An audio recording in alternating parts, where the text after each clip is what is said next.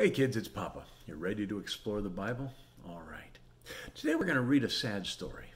A story that, um, as a servant of God, it kind of bothers me. But there's a lesson to be learned here. And that is 1 Kings chapter 13, starting verse 7. You remember this prophet of God had went had gone from the southern kingdom up to the northern kingdom to Bethel to prophesy against the altar and against Jeroboam. And as he did that, Jeroboam said, Ooh, I'd like to reward you for this. I'd like to pay you. I'd like to hire you. But the prophet said, No, I can't. Uh, and, uh, and he said, Let me read this to you. Notice verse uh, 8. It says, And the man of God said unto the king, If thou wilt give me a half thine house, I will not go in with thee, neither will I eat bread nor drink water in this place. For it was so charged me by the word of the Lord, saying, Eat no bread, nor drink water, nor turn again by the same way, uh, nor turn again by the same way that thou camest. In other words, you go up and you come back. You don't eat anything, you don't drink anything till you're back in your home. Okay, um, and so um, he went another way and returned not by the way that he went to Bethel. Now here we see that there is another individual that comes in. And this guy, I'm not sure why he did it, but I'm led to believe that he was led of God to do this so that he can teach us an important lesson. Notice it says in verse 11, Now there dwelt an old prophet in Bethel, and uh, and his sons came and told him the works of the man of God had done that day in Bethel, the words which he had spoken unto the king, and them they told to their father. And the father said unto him, Which way went he? And his sons had seen which way the man of God went, which came from Judah. And he and he said to his sons, Saddle my ass. So they saddled him the ass that he rode thereupon. And after the man of God and he found the man of God sitting under an oak, and he said unto him, Art thou the man of God that camest from Judah? And he said, I am. He said, Then he said unto him, Come home with me and eat bread. And he said, I may not return with thee, nor go in with thee, neither will I eat bread nor drink water with this uh, with thee in this place.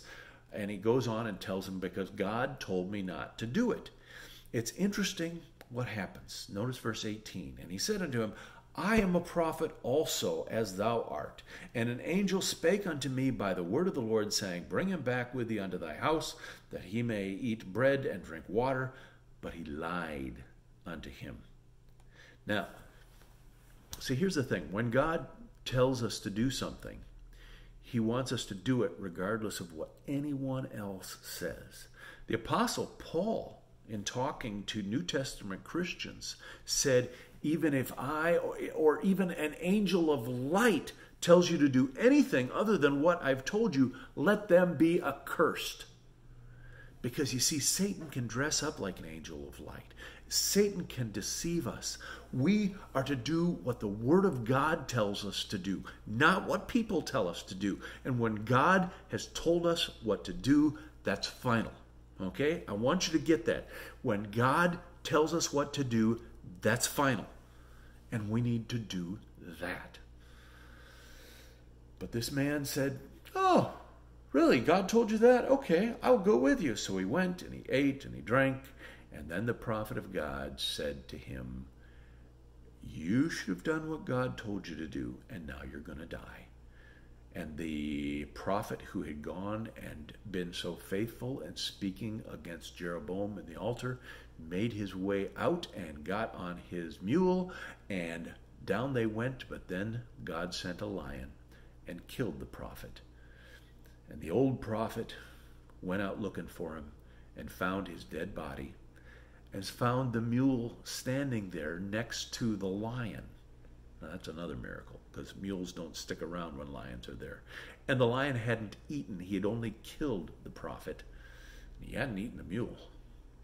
And the prophet went and took his fellow prophet and he mourned over him. Even though he had been instrumental in the prophet's death, it wasn't his fault. It was the fact that he had not obeyed God. What do we learn from this? We learn from this that sometimes there are harsh punishments for not obeying God. When God has told us exactly what to do, that's final. And sometimes there are harsh punishments for not obeying God. So, hey, love you guys. And uh, I guess we're actually back. We should be back in Loves Park now. Probably have seen you, but uh, love you. Remember, when God tells you what to do, that's final.